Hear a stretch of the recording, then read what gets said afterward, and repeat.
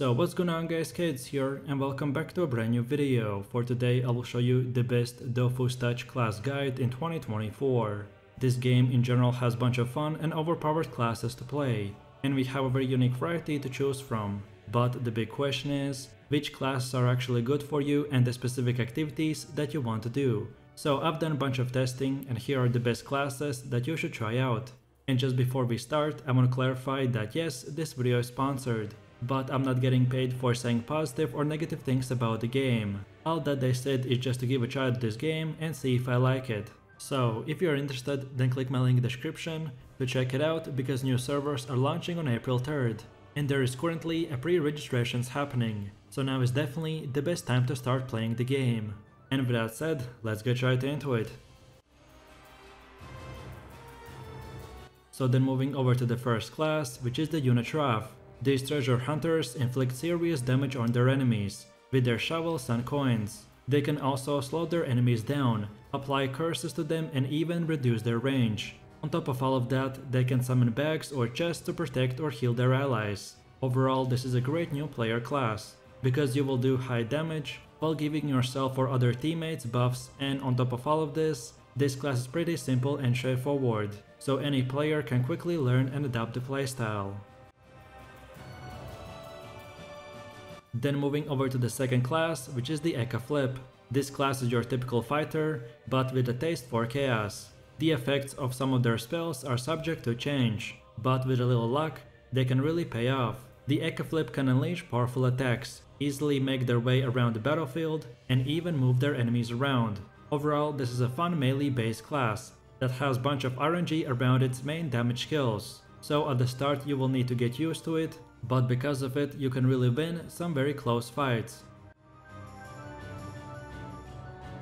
So then for the third class we have the Iop. This class is very similar to the previous one, as they are mainly warriors, which can attack and inflict huge damage. They usually attack in AoE, or focus on a single target, to neutralize it as quickly as possible. Iops are effective at short range, they can jump to dive into close combat, or make a smart retreat when the battle gets tough. Personally, my favorite thing is to push enemies around the battlefield, and then just before ending my turn, running few squares away, so this way my enemies need to waste their movement points and potentially miss their attacks. Then for the next one we have the Sadida. This is a druid class that uses voodoo magic. They can summon dolls to injure and apply penalties to their enemies, or heal and apply bonuses to their allies. They can also summon a variety of trees to protect themselves and obstruct their opponents. This class has much bigger range on skills than most other classes, so you can use it to your advantage, by not always being in front of the enemy, but instead by using your positioning more strategically. Then for the fifth class we have the Sacrier. He is a berserker who isn't afraid to jump right into the battle. These extremely tough fighters place themselves onto the front line, to take the damage in their allies' place. The more damage they take, the more power they gain, and the harder they're able to hit. They can also pull their enemies towards them or move quickly around the battlefield. I found that this class is another good choice for newer players, as you can just take a lot of damage from the enemies, and then return it twice as much. Most of your skills will be up close and personal, so the Sacrier always wants to be as close to the enemy as possible. Then for the next one we have the Feca. This class is your main tank type of character, who can significantly reduce their damage suffered by their allies or themselves. They can place glyphs on the battlefield that inflict damage or apply penalties to the enemies caught inside. As most tank roles, you won't be doing the biggest damage numbers, but you will be able to withstand powerful enemy blows while protecting your team, so then in their turn they will be able to defeat the enemies for you while you will be doing one of the most important jobs, which is helping and protecting yourself and your team. Then for the 7th class we have the Osamoda.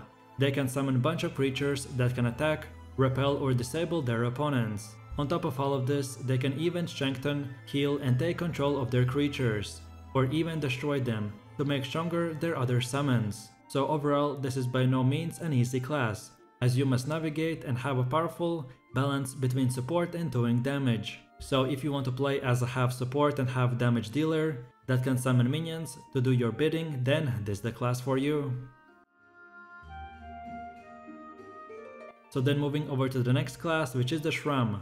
This is a stealthy slash assassin type of character, who can turn invisible and place traps on the battlefield. They can become undetectable to their enemies that are triggered as soon as an enemy is unlucky enough to step inside. Srams also have spells that they can use to force enemies into their traps themselves. And in my personal experience, I recommend for the Sram players to constantly keep moving, so the enemy never knows and can expect your next move, as anytime he moves, he can potentially step onto a trap and lose his advantage.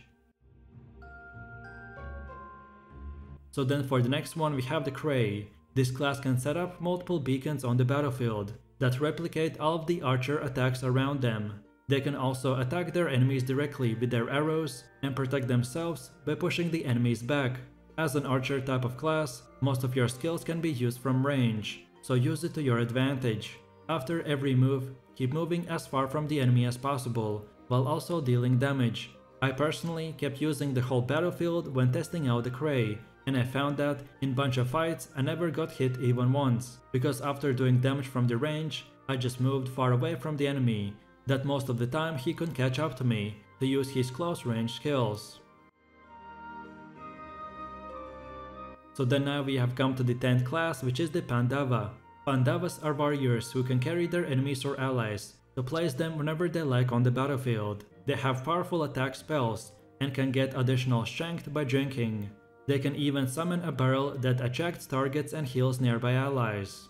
Overall, as you can tell, this class gets a bit of everything, so you can deal damage, move allies, apply bonuses and much more. But with all of these options is a big responsibility, as the Pandawa is not an easy class, but when you master it you can become unstoppable for your team.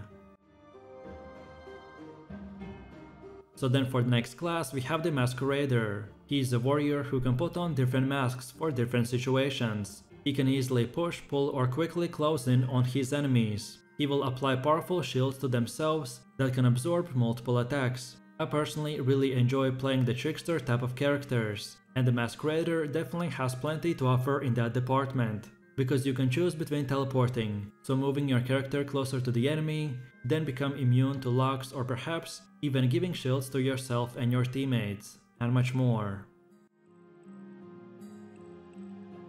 So then for the next class we have the Xelor, and he is a sorcerer with the ability to manipulate time. He can trip up his enemies by preventing them from casting their spells, but he can also control their movement by teleporting themselves or casting spells through their dial. This is one of the hardest classes in this game, so I don't recommend it for a newer player, but definitely you can try it out as a second or even third character, as they are a range class that can use magic from range, so you will be able to do a crazy amount of damage and even heal your allies.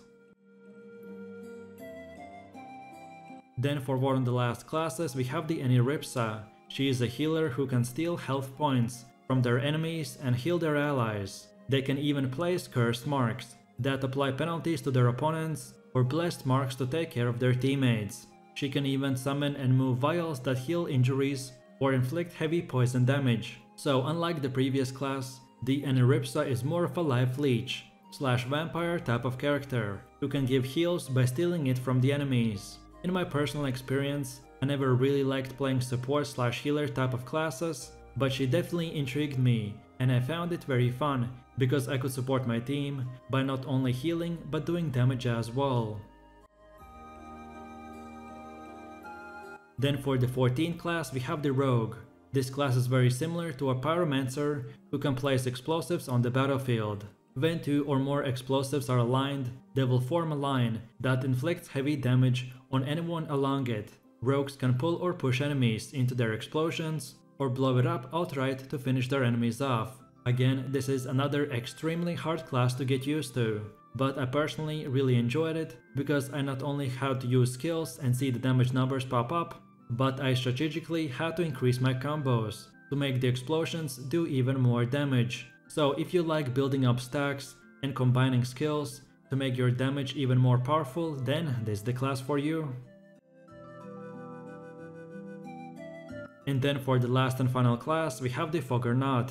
They are tacticians who can place turrets on the battlefield. These summons can attack, heal or move nearby targets. Foggernauts can also upgrade their turrets to improve their attributes, thus increasing their damage and health, which is very useful because as long as you can keep your summons alive, the more damage they can do in each turn.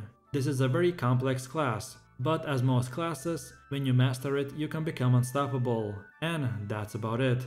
So with that said, thanks for watching guys and I hope you enjoyed it. As I said in the beginning of the video, this is a great time to download and play Dofus Touch for free, as it is a very fun mobile MMORPG that is about to do a global relaunch and with it introducing new servers, reworked early game experience, plus 10,000 maps to explore, thousands of quests, items and monsters to conquer, more than 70 dungeons to complete and much more.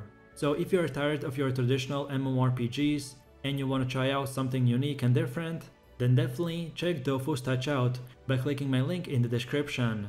And while you're doing that, please click like, subscribe and enable that notification bell, so this way you could support my channel and not miss any more amazing content. With that said, you have an amazing day and I will see you in my next video, so take it easy, peace.